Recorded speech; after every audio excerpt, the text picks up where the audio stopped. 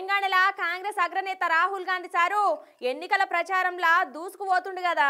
మరి ఎక్కడెక్కడ తిరిగిండో ఎవలెవల్ని ఎట్లా అరుచుకున్నాడో చూద్దాం పార్రీ.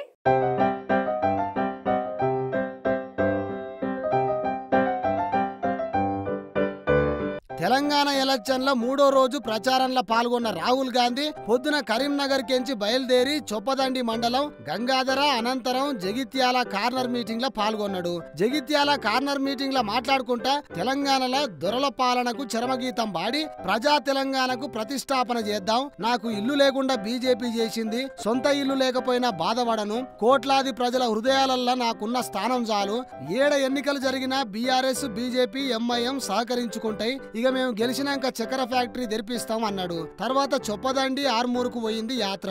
గాడ మాట్లాడిన రాహుల్ గాంధీ ఒకటే కుటుంబం దగ్గర తెలంగాణ బందీ అయ్యింది.